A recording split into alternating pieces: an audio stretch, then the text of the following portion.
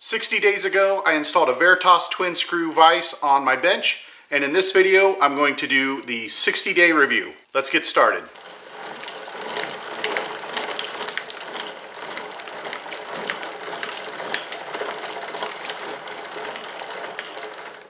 I did buy this vise used at a pretty good price, and I made a video about installing it and reusing these jaw vices that came with it. But as a used item, it was missing two parts. One part was this nice little brass knob which allows you to disengage the shear pin. That allows the right screw to operate independent of the left screw, allowing you to skew the jaws slightly. To resync them, you just allow the pin to snap back in place, and then now they'll operate together.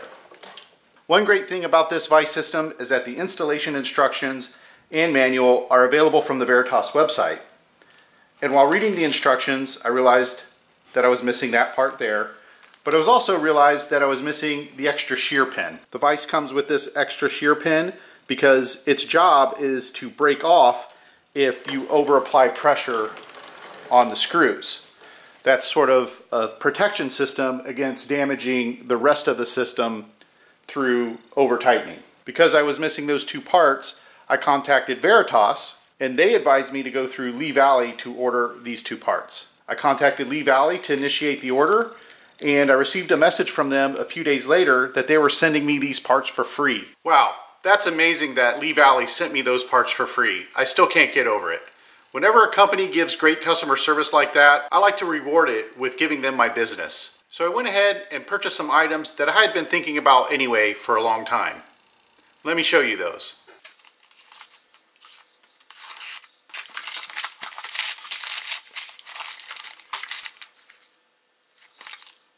This is a Veritas PM V11 blade, 2 and 3 8 inch wide. I, will be able to use that in this 5.5 from Tay Tools or this modern Stanley 4.5. I'm very interested in this PM V11 material and interested to try it out. I'm hoping it's a big improvement over the base quality blades that come with these types of low-end planes. In a future video, I'll be doing a review of this Tay Tools 5.5 plane, along with this Veritas PM V11 blade, and comparing it to this cheap 4.5 Stanley plane. The other Lee Valley purchase I made was this high friction mat material. In a future video, I'll be comparing it to the excellent material that comes standard on the Shopsmith push blocks. This stuff has proven to be very grippy. And the third item that was in the box was this Veritas honing guide. I've been using this honing guide for some time. This model is supposed to have a wider wheel than these, and uh, I'm assuming that's going to make it much more stable. Again, I'll take a look at that in a future video.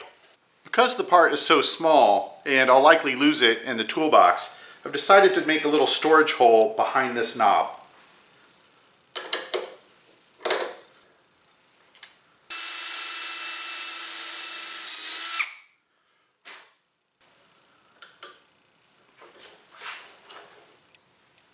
Perfect.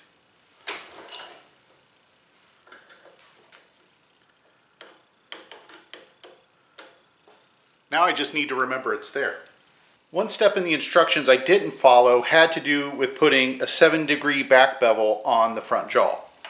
The instructions indicated to temporarily affix a thin strip of wood to the front face of the vise and then run this piece through the thickness planer and that would thickness plane a back bevel on this front jaw. The purpose of the back bevel is so that when you close the jaw, the natural racking of the system will twist this way a little bit, and with the back bevel, your top of the jaw will still close first, and then the bottom will pinch in later, creating a very strong grip. Now I didn't necessarily want to put the 7 degree back bevel on the front jaw because both of these jaws are made of mostly MDF clad with veneers of hardwood it works out just fine, but I didn't necessarily want to send this assembly through the thickness planer. So what I did is I took some ordinary toolbox drawer liner and some double face tape. So I cut out a strip of the drawer material, taped it down with some double stick tape, and that has created a super strong grip. With that drawer liner affixed to the inside of the vise, it just gets a really good grip.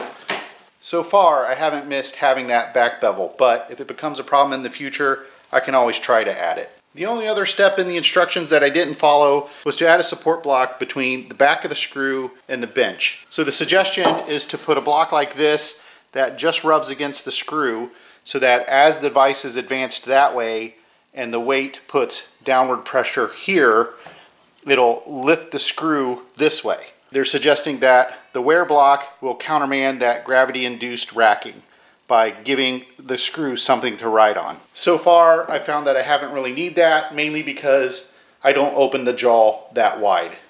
But if it becomes a problem, I can always come back and add something later. The Veritas twin screw is attached to a Husky adjustable height workbench. I released a video a few weeks ago explaining how I built this storage cabinet and how it's not only storage but also makes this adjustable height bench more stable. It's done a great job for that. It's many more times stable than it used to be which means I can get a lot more value out of my vise. One thing that's been really nice are these casters. They lock easy, they're very rigid, and they're just as easy to unlock. I suppose one criticism of the Veritas twin screw is the lack of a quick release mechanism, which means to fully open the jaw, you have to manually crank it. And that's true to close it as well.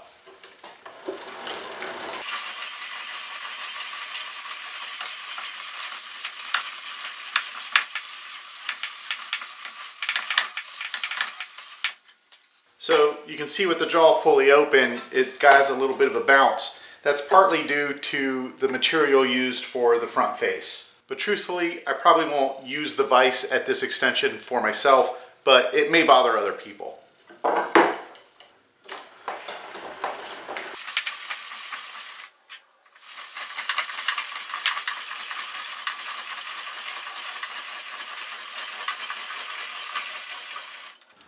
So I'm counting about 50 rotations to get the jaw to open and then another approximately 50 to get it to close. Honestly, that doesn't really bother me, but I could see where it might bother some people. The Veritas twin screw has more or less been a game changer for my workshop. It's allowed me to do so many things more quickly and easily and just enjoy my time in the wood shop more. I don't have any regrets about buying it and installing it on my bench.